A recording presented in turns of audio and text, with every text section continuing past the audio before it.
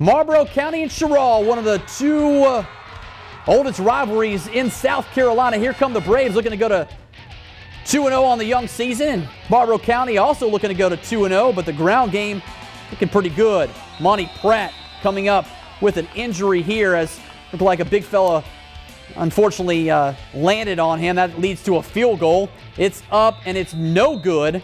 So we are still scoreless. Marlboro County, their first possession. Jacob Evers handing off to DC. Delvin Covington, a huge gain.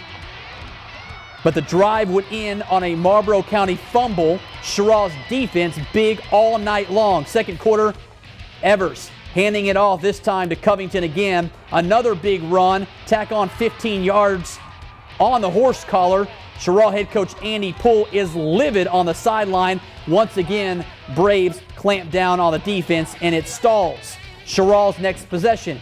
Gainey off to Christian McCray.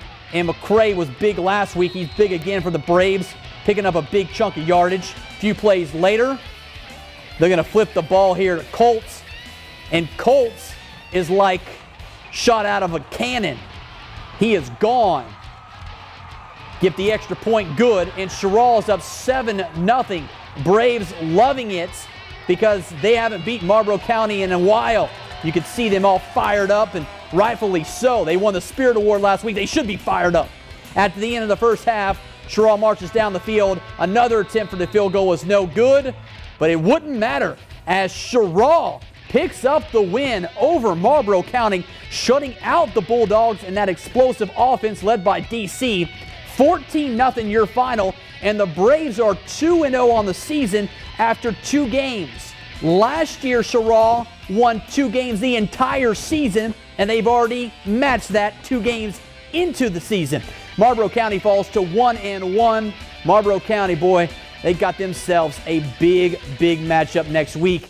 They've got some regrouping to do because they're going to go take on Zamir White in Scotland County in Laurinburg, North Carolina next week. As for Cheraw, yeah, they said bring on McBee. Well, they're going to get him next week at home. That should be yet one heck of a ball game as Cheraw is off to a fast start in 2016. Congratulations to Andy Poole and his football program.